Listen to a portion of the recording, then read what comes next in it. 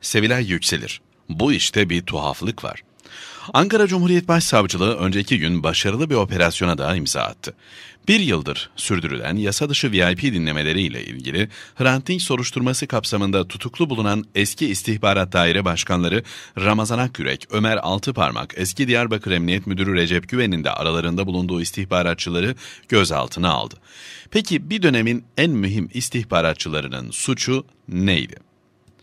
İddia şu ki bu adamlar temiz çocuklar, alnı secde gören çocuklar ayağıyla sızdıkları polis teşkilatında çok üst düzey makamlara gelip neredeyse memleketin tamamını dinleyen paralel örgüt mensubu. Sanırım bu iddialara karşılık verecek pek bir cevap bulamayacaklar zira her şey belgeleriyle ispatlı.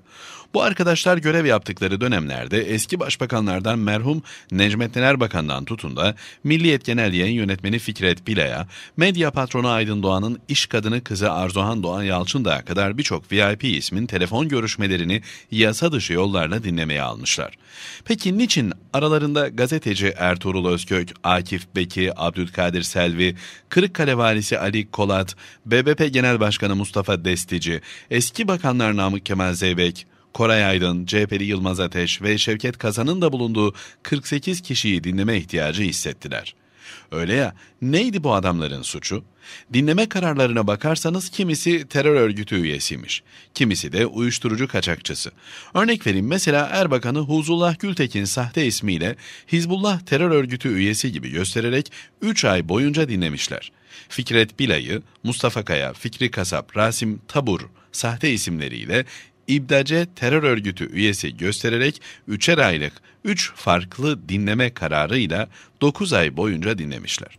Arzuhan Doğan Yalçın da ise erkek ismiyle Ahmet Bal, Mustafa K ve X şahıs isimleriyle İbdace üyesi olduğu gerekçesiyle 9 ay boyunca dinlemişler. Şimdi burada bir tuhaflığa dikkat çekeceğim. Ben Aydın Doğan olsam, yani Türkiye'nin gelmiş geçmiş en ünlü medya patronu, ve kızımı da bazı soysuzların şantaj yapmak amacıyla radikal İslamcı terör örgütü altında takibe aldığını öğrensem, emin olun ortalığı ayağa kaldırırdım. Ama bakıyorsunuz adamlarda tık yok. Dün hürriyeti elime aldığımda neye uğradığımı şaşırdım. Normalde manşetten görülmesi gereken operasyon alttan küçücük bir kutuda aktarılmış okurlarına. Peki neden? Çünkü dün kendilerini bir biçimde dize getirmek için yasa dışı yollarla dinleyip şantaj malzemesi toplayan bu örgüt mensupları şimdilerde ezeli düşmanlarının yani Recep Tayyip Erdoğan'ın da düşmanı da ondan.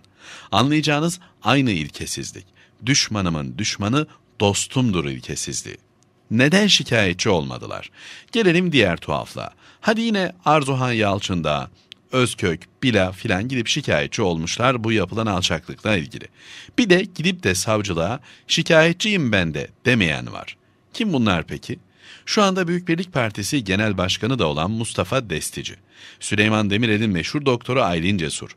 CHP'nin eski ağır toplarından Yılmaz Ateş. Eski MHP'li Bakan Koray Aydın. Devlet Bahçeli'nin baş danışmanı olarak bildiğimiz Zuhal Topçu. Aydın Doğan'ın bacanağı olan eski bakan Namık Kemal Zeybek ve halen TOKİ'de başkan yardımcılığı görevini sürdüren Mehmet Memduh Dizdar. Dün savcılık kaynaklarımla görüştüm kendilerine çağrı bile yapılmış gelsin şikayetçi olsunlar diye ama olmamışlar. Neden peki? Mesela Sayın Destici, bize bu sorunun yanıtını açıklayabilir mi?